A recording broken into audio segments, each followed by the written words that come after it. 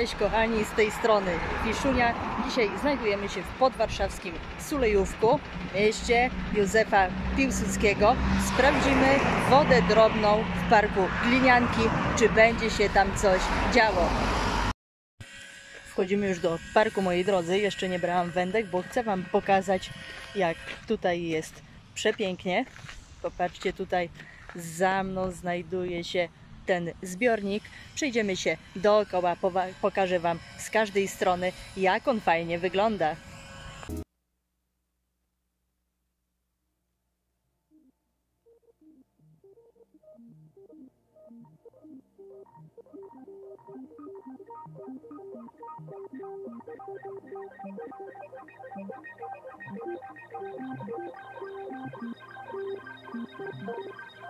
Thank you. Thank